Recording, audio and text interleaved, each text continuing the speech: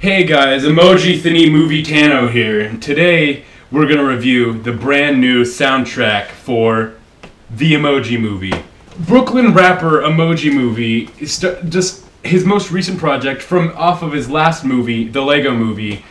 He's working on a new one, the new soundtrack, Emoji Movie. It's it's surprising. No one anticipated a 57 track long soundtrack for the freaking Emoji Movie. Like Oh my god. So, for like for example, track 4, Candy Crush Saga is nothing but loops of just crunchy. And that's it. There's no like nothing.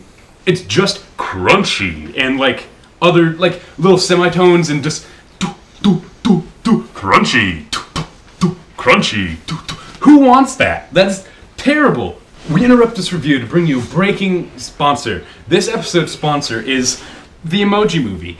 If you want fresh, new fun with the kids, then please watch the Emoji Movie. It's nice, it's yellow, it's not the Minions, it's for children, it's the best. Come on, everybody, give a round of applause. Movie!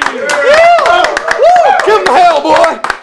Use my code KEEM at checkout for 25% off. Anyway, back to the review. So basically, it's tr- trash. Uh, track 48 of 56 is the Spotify, which the Spotify, you know, that one, the. Anyway, basically, it's Spotify. They put every single song in the world in the movie, and it's that's it. Track 47, every single song in the world, including the song itself. So it's like never ending. Track. Fo- Kenny Chesney would never do that to you. Guess he wouldn't. He never would. anyway, so back to business. Track 12 is basically it. Gosh darn diddles. Okay, so track 12 is basically it's just a track called Gene, and it's three seconds long, and he just goes elevator going up, and that's it. It's like, why do we need that? These are so unnecessary. There's literally seven of them, and there's one of them at the end called New World, and it's track 108, specifically 108, and it's just one minute of it going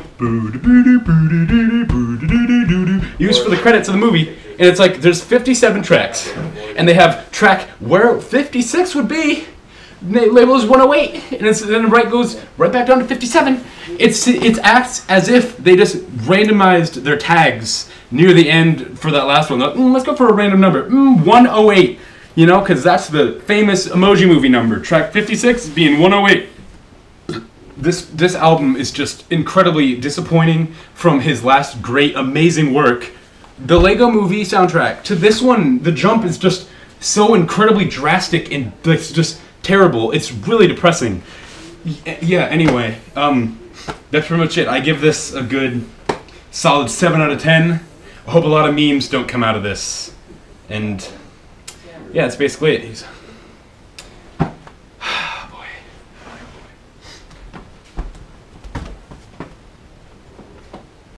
Kenny Chesney.